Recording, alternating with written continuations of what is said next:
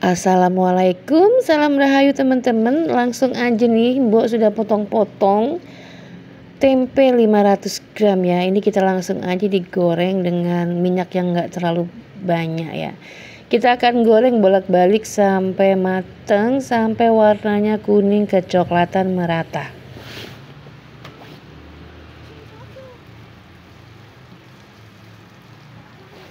Nah ini warnanya sudah mulai kuning kecoklatan. Kita akan angkat dan kita sisihkan ya. Sambil kita siapkan dulu bumbunya.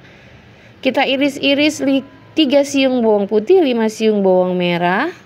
Satu buah tomat dan 100 gram cabai campur ya. Cabai hijau dan cabai merah. Setelah diiris-iris langsung aja masukkan ke dalam wajan.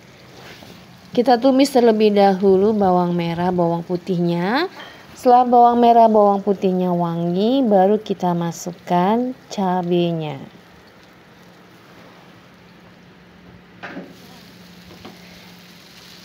Cabenya udah masuk. Kita tumis ya. Ini juga tomatnya juga udah masuk. Setelah tomatnya melembut dan cabenya layu, baru kita masukkan kerang sebanyak 500 gram yang sudah dibuang bagian kotorannya yang tengah itu ya. Yang agak-agak seperti rambut itu harus semuanya dibuang lalu dicuci bersih. Tambahkan penyedapnya. 1 sendok teh garam, setengah sendok teh kaldu bubuk, setengah sendok teh micin, setengah sendok teh lada bubuk.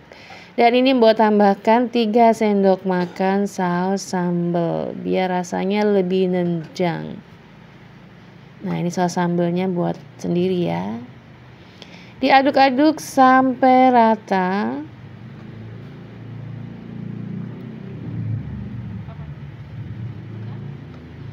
Nah, kita akan masak sampai kerangnya matang terlebih dahulu ya. Jadi ini kita biarkan mendidih dan sesekali diaduk.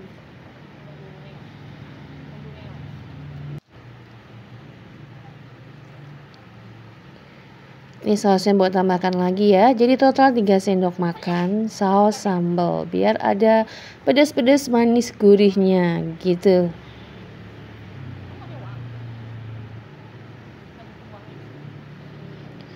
Setelah bolak-balik diaduk dan kerangnya sudah matang ya, terlihatnya sudah mulai agak mengkerut. Berarti sudah matang juga airnya itu sudah asat kering ya terserap ke dalam kerang. Baru kita masukkan tempe yang sudah kita goreng tadi tambahkan 3 sendok makan kecap hitam manis. Tinggal diaduk rata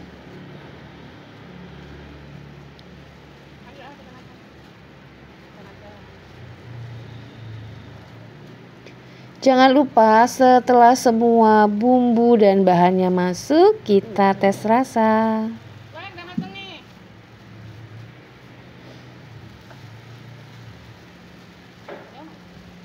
Kalau sudah mantul dan sudah kering, baru deh kita angkat dan kita sajikan. Waduh, enak banget.